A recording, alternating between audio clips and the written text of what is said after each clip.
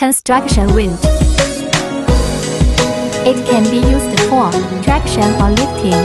Machine can be customized. Rope lengths can also be customized. Screw the base tightly before use. The machine can be used with single or double rope.